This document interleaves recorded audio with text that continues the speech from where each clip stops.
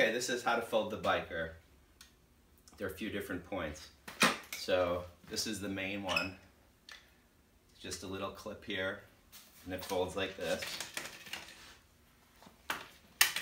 Handlebars here. You can rotate them. Another clip here. So they go down.